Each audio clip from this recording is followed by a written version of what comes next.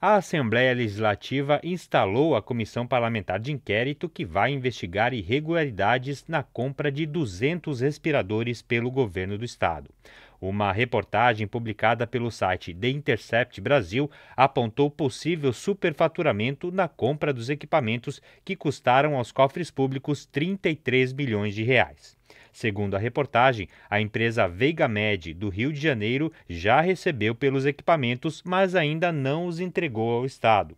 A CPI, instalada no parlamento para investigar essas denúncias, terá como relator o deputado Ivan Nats, do PL. Para presidir os trabalhos, foi eleito o deputado Sargento Lima, do PSL, e Valdir Cobalcini, do MDB, para vice-presidente. A comissão também será composta pelos deputados Moacir Sopelsa, do MDB, Felipe Estevão, do PSL, Fabiano da Luz, do PT, João Amin, do PP, Milton Obos, do PSD e Marcos Vieira, do PSDB.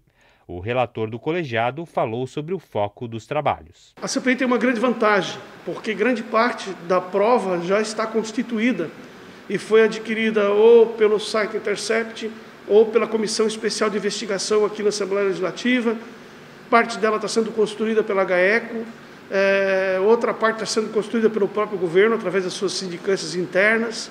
Então, é, uma, é uma, um processo de investigação é, em que as provas já existem. O que nós precisamos fazer é ligar essas provas aos indivíduos. Afinal de contas, alguém apertou o botão da transferência dos recursos.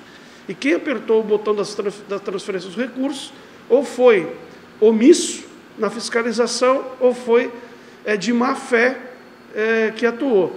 Então, a, a nosso, o nosso papel na CPI é buscar os nomes e ligar esses nomes aos fatos para mostrar para Santa Catarina quem efetivamente participou dessa fraude e exigir, depois disso, uma punição severa do, do, do Poder Judiciário, que é a quem cabe né, aplicar sanções penais e administrativas legais. A partir da data de instalação, passa a contar o prazo de 120 dias para a entrega do relatório final, porém, o relator acredita que poderá concluir o trabalho em até 60 dias.